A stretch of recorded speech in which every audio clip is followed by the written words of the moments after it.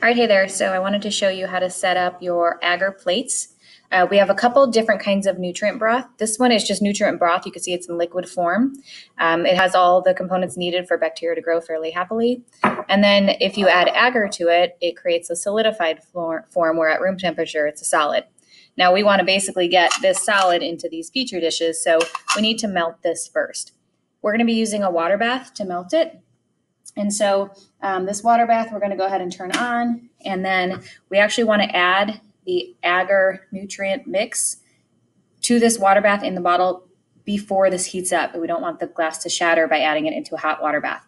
So what you first need to do, and I recommend doing this with gloves on, um, it doesn't necessarily need to be near the Bunsen burner because we're not actually opening this. We don't want anything from the outside to get into here and contaminate our, our broth or in this case, our nutrient agar. But you do want to undo the top just a little bit, just so that their pressure doesn't build up in here and cause it to burst. So once that's just loosened a little, still on there, but still but loosened, then you're going to put it in the water bath.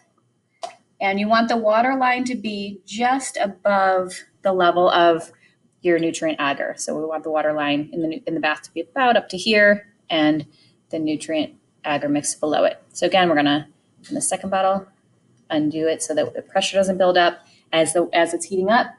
And then we're going to put this again in the water bath. And now we'll just let that sit until basically it becomes a liquid form. It'll look much like this, um, even though it does have agar.